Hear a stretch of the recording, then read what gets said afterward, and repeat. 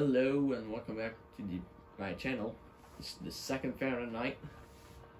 I forgot to say that on the first fan, but whatever. Uh, what we got here is a TAT uh, Industrial. It's rebranded C Canarm C56.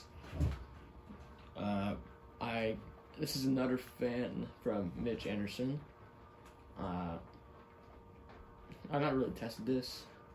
I mean, I've not really made a video of this, like going through the speeds, but I had it installed in my basement for a while. And now we're gonna take a good look at it. So, this fan, as you can see, has a Canarm Pleasant sticker. Uh, it's not in the best shape. Also needs work. He gave me the worst, one in the worst condition, but I don't really care. I could repaint this easily. It's from this uh, November 12, 1985. There's the first sticker. Model CFA1. And here it says C56A, 0.85 amps. So, yeah, it's uh, much about it for this fan before going into demonstration. For testing purposes, I ran on a solid state control because on the regular speed control it wouldn't have a great range. So now we're on the lowest. See if it's gonna keep going or gonna stall out. I gonna keep going.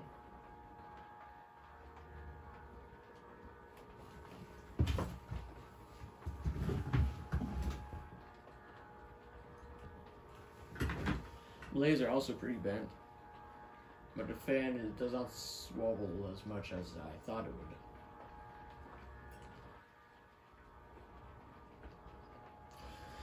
would. the blades are also very, very heavy. They're like they're very heavy steel. These are known to get bad capacitor because us, for like a pretty not so big motor to drive like three heavy steel blades, of gets the motor to get really hot and the, and the capacitor just wears out. I've seen this case in person, and I've seen this case on online.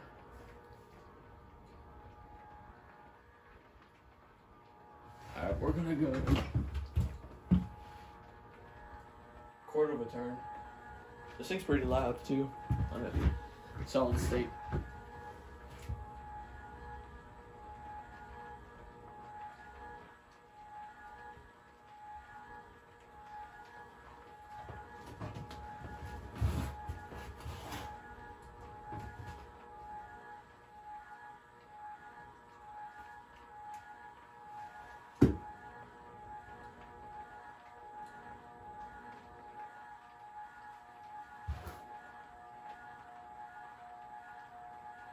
So this is like a, as wobbly as it could, well, while speeding up. So this is not too bad.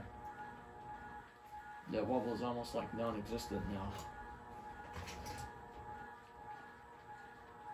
I'll probably just have to touch up, touch the bottom motor, and that's it. I don't think I'm gonna like fully restore this. The canopies and blades are not in worst shape, so I just need to do work on the motor. Do another quarter of a turn.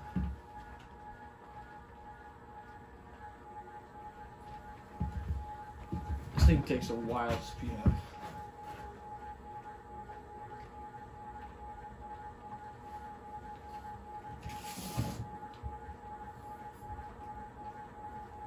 These are known to get bad capacitors, but this one is a pretty good one.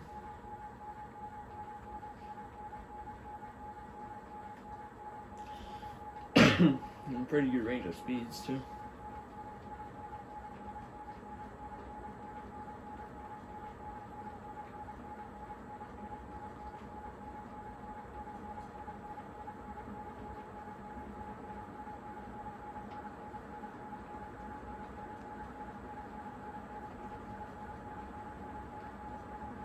Alright, let's go.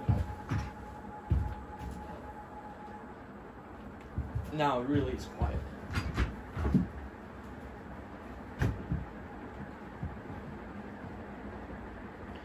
I ran it a bit for for a bit, so it would kind of warm up the motor.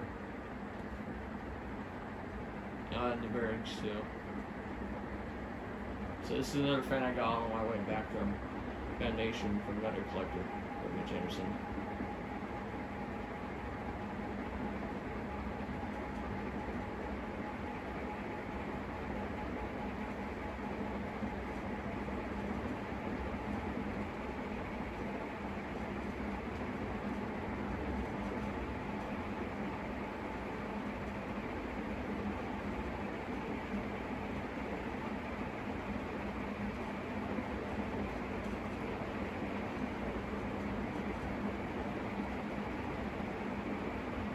So on high is pretty much the wobble is pretty much non-existent, and it still is speeding up very slowly.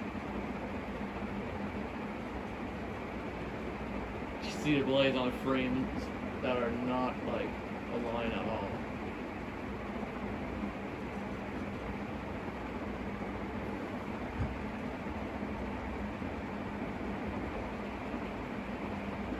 and the fan's pretty good. Performs pretty good. This is, I think, the third or fourth generation of the Canarms. The first generation was the Union Round, or Evergo, Union Evergo, with a round motor, which uh, I was, I was like a Nevergo one in brown with gold stripe around the motor. It's my bedroom at my dad's house. So I'm just speaking of this version. That's the uh, arm. The second version was the. It, was, it was made by TAP. Uh, it had a cast iron motor and the same. That was the same blade design. The I think this is the fourth generation, but the third gen had a thicker. Was the motor became stamped. The third and the third generation had a thicker, like groove in the motor and the fourth generation has, has a thin which is this one. And fifth generation was the ones that have the plain blades, which I'm also looking for. It has a gold stripe on the motor and uh, like pretty much thin, thinner. Not sure if they're aluminum or steel. And then the sixth generation is the original one liner blade, which I have. I have one uh, painted over in brown. Uh, that's the and the seventh generation. I believe it's from the, the late '90s. This is the seventh generation. These two. Eighth generation is from the 2000s, which is the. Uh, well, overall, another thing to point out is that the late 90s version had the groove in the motor. And 2000 that went away. It's just a standard motor with a gold stripe. And then the 8th generation, I think, I'm, I'm kind of lost here. Uh, had just the plain white stripe. And then the 9th generation is the current DC model.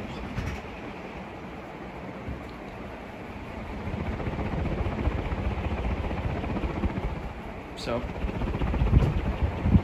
doesn't doesn't like shoots the air, it just spreads it. The curve blades, I can feel it all over here. But it's kind of it runs fairly smooth.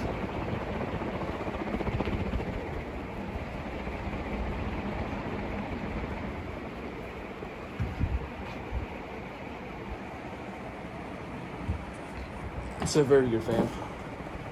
There was one of these at a Canadian Tire. I made several videos of it. It had the very wobbly canner fifth generation. It had the uh, had a bunch of fans. It it's the same one that has the seven gold lines. I've recently made a remake video of the the fans in the entire place. This place you have a lot of used to have a lot of generations generations. Uh, now there's just like three of them. There was actually one more that I went in like early March. Uh, March of last year, and then when I went back there in May, the fan was gone, and I could see a lot of holes and like canopy traces that where a fan would belong. And near the entrance of this Canadian Tire, it had one of these. And that fan later got replaced with a bronze line. And that bronze line was also got taken out too, leaving an empty hole in the ceiling. There's there's many holes in the ceiling. There's there should be at least like twenty something fans in the main area. Now there's just like nine. But anyways, that wraps up this fan. We're not going to do spin down because it's going to take forever. So, hope you enjoyed this video. Thanks for watching. Bye.